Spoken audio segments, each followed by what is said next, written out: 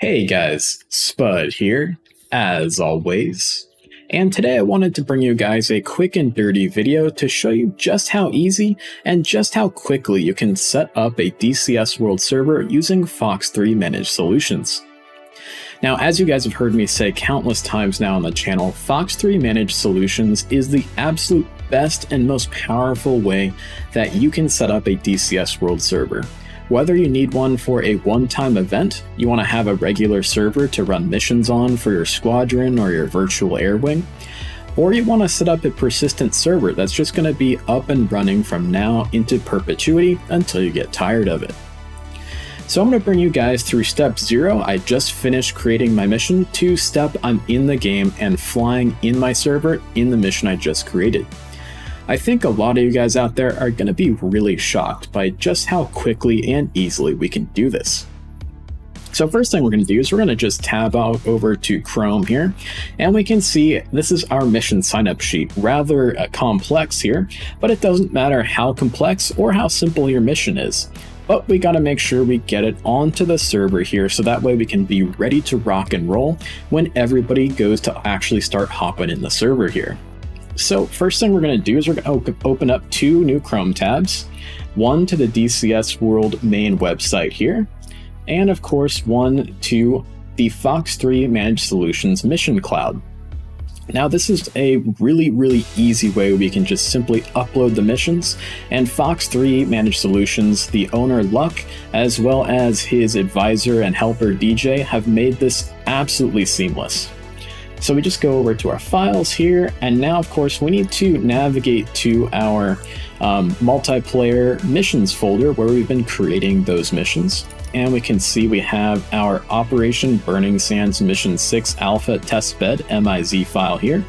That's what we want to use for today.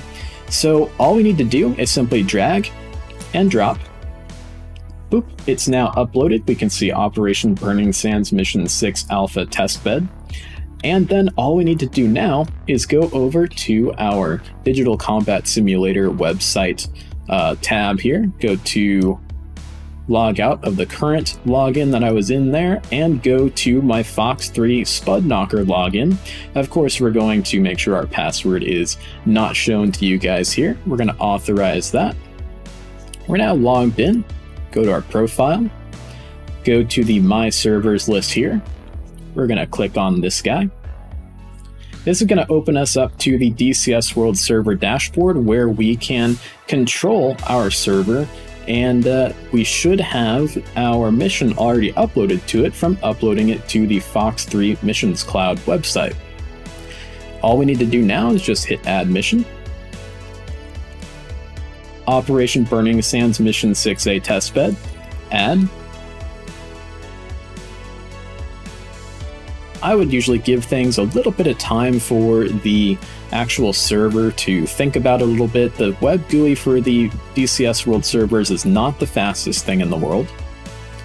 We're now going to run that mission.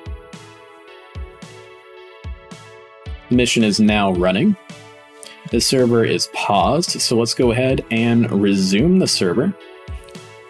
Give it a few seconds to think about some stuff as you unpause the server before you start pressing other buttons.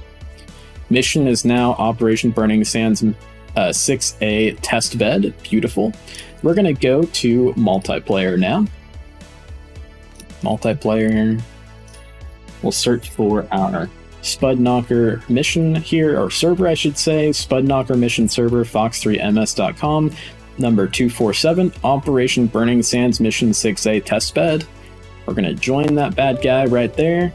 We're going to auto connect to our SRS. SRS, as well as all of the ports required, just everything is taken care of on the back end by the Fox3 staff. And that just makes things so easy for you as the mission editor and event coordinator.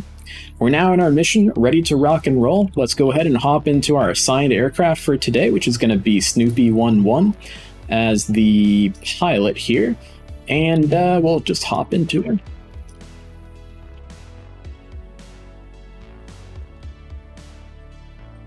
Wait for my cockpit to load around me here.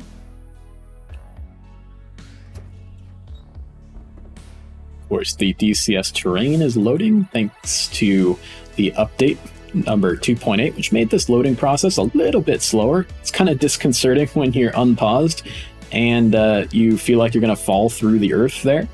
But uh, there we go, guys. I'm now sitting in the cockpit of my Apache or whatever cockpit you of the jet or helicopter you're going to fly.